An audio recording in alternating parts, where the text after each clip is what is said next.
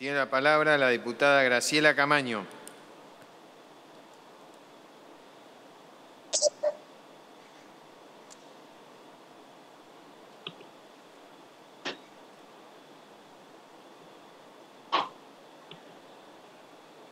Gracias, presidente.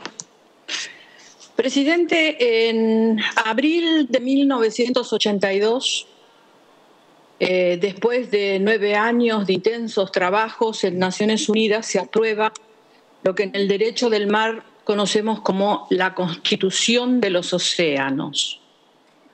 Este Congreso, ocho años después, en 1997, crea la Comisión Nacional del Límite Exterior de la Plataforma Continental, un 20 de mayo de 1997. Hace 20 años hay un equipo de argentinos que consolidados están trabajando en los océanos, buscando las vicisitudes territoriales para definir la continentalidad, la bioceanialidad de la República Argentina.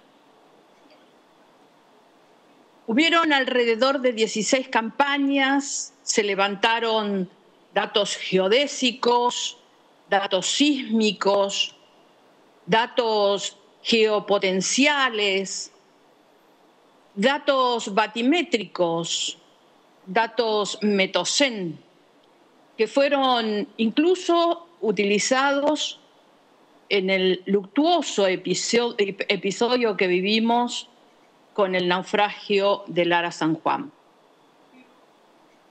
Aquí se dijo que esto que ha sucedido y a lo que nosotros esta noche pensamos redondear, eh, traerá grandes ventajas económicas les aseguro que también traerán grandes ventajas científicas, porque hay allí un valor científico invalorable en toda la biodiversidad oceánica de nuestro Atlántico Sur.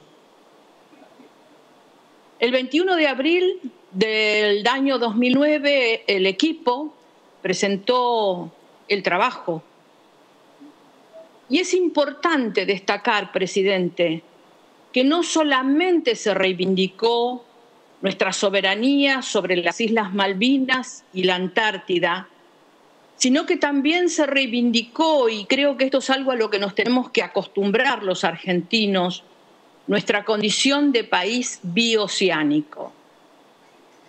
Es importante la reafirmación del territorio de Malvinas como un territorio en disputa, que es la apreciación que realiza Naciones Unidas cuando estudia el caso.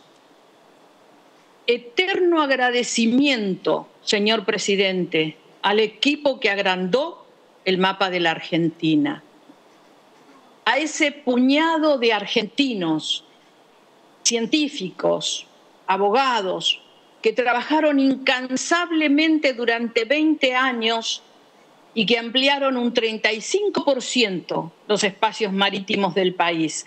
Argentina fue, señor presidente, el vigésimo quinto país en hacer la presentación y fue el segundo país en volumen de trabajo. En Argentina había algunos denostadores, como siempre, que hablaban de un territorio imaginario y de un macaneo. A partir de esta noche, ese territorio imaginario, con esta ley que vamos a completar, será el límite de nuestra patria, establecido por la ley y reconocido por las Naciones Unidas. A la doctora Frida Armas Firter, a los geólogos, a los, a los geofísicos, a los cartógrafos, a los oceanógrafos, a los hidrógrafos, a los diodestas, a los expertos en sistemas y en derecho internacional que trabajaron en equipo. Y puntualmente, señor presidente, a todas esas mujeres científicas, nuestras antiprincesas, como a ellas les gusta llamarse, que son las que están haciendo incluso en esta pandemia, tanto por la humanidad y tanto por nuestra Argentina.